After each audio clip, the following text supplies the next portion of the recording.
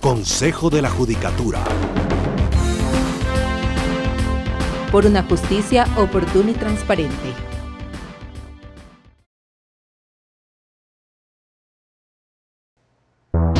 El piso reluciente, las computadoras encendidas, los muebles con el típico olor a nuevo, las servidoras y los servidores sonrientes.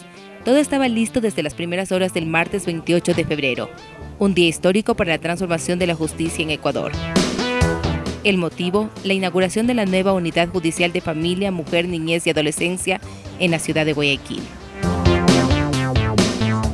Las pantallas, el sonido y los discursos estaban en su punto cuando arribaron cientos de ciudadanas y ciudadanos a la calle Luque, donde se levanta el moderno edificio.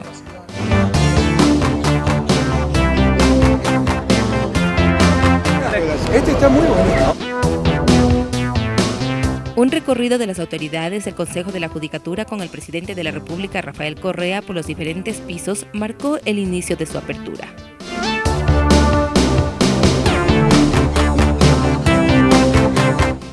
La inauguración de esta moderna unidad judicial es parte del plan de reestructuración de la justicia, por mandato popular del 7 de mayo de 2011. Las emotivas palabras del presidente de la Judicatura, Paulo Rodríguez, resaltaron la importancia de las modernas unidades judiciales, un nuevo modelo de gestión y el uso de la tecnología. En esta unidad judicial de familia, mujer, niñez y adolescencia estarán trabajando 11 jueces, y estarán trabajando 60 funcionarios apoyando a los jueces. Pero nunca más los jueces van a realizar tareas administrativas.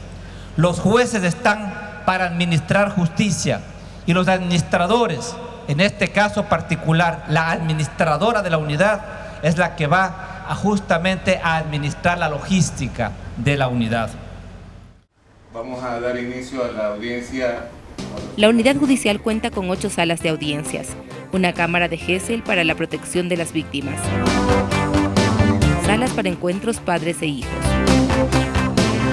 11 despachos de juezas y jueces, módulos de información y atención a los usuarios y una sala lúdica para recreación infantil. El plan de reestructuración de la justicia avanza en concordancia con el principio de que hay que hacer las cosas extraordinariamente bien y extraordinariamente rápido. Estos nuevos juzgados se han hecho extraordinariamente bien, tienen tecnología de punta, nunca más que lo público sea lo peor. Lo público puede y con la revolución ciudadana va a ser lo mejor, incluso mejor que el sector privado. Y si son servicios para los pobres, mejor aún. Estamos seguros que con estos procesos transparentes de concursos de merecimiento, en base a méritos, no en base a argollas, palanqueos, el país volverá a tener esos jueces sabios. Felicitaciones, señores jueces, si se pueden poner de pie, por favor.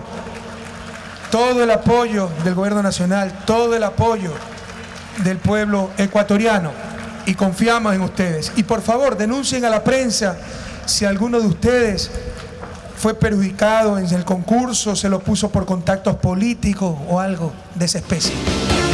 La Unidad Judicial de Familia, Mujer, Niñez y Adolescencia de Guayaquil tiene una extensión de 3.900 metros cuadrados de construcción.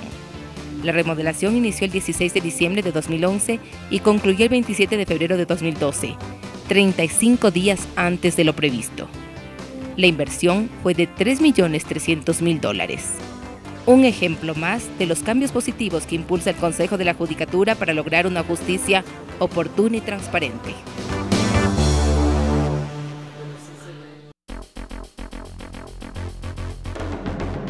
Consejo de la Judicatura por una justicia oportuna y transparente.